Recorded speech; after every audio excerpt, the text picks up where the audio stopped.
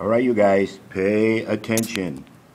We are going to work on the problems on page 324 in this section that says write each expression with only positive exponents and see example 3. Oh, wait a minute. Example 3. Go back and look. Example 3 is here using negative exponents. And there are a bunch of problems all worked out. I wonder if my students were looking at this when they were doing their homework. Look, here's a big caution. Negative, a negative exponent does not indicate that an expression re represents negative number. Negative exponents lead to reciprocals. Look, a to the negative m means number with a negative exponent is, a is the reciprocal of that number with the positive exponents. It's not a negative number. However, if that original problem is a negative sign in front of it, then you keep that negative sign in front of it even when you flip it to the reciprocal. It stays negative because it starts out with a negative sign. All right, so we're going to go over some problems on page 324. Positive exponents only.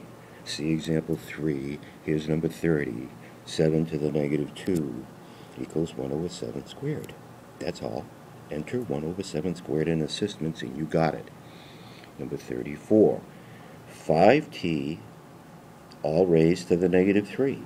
Simply put 5t in the denominator and then make it positive 3.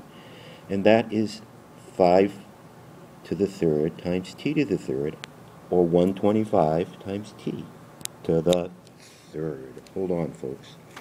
We have a situation here. A situation here. Look at this problem while I do this. There we go. Yes, as I was saying, 125, 1 over 125 times t to the third. Number 38. Negative b to the negative 4 is negative 1 over b to the 4, and that's it number 40.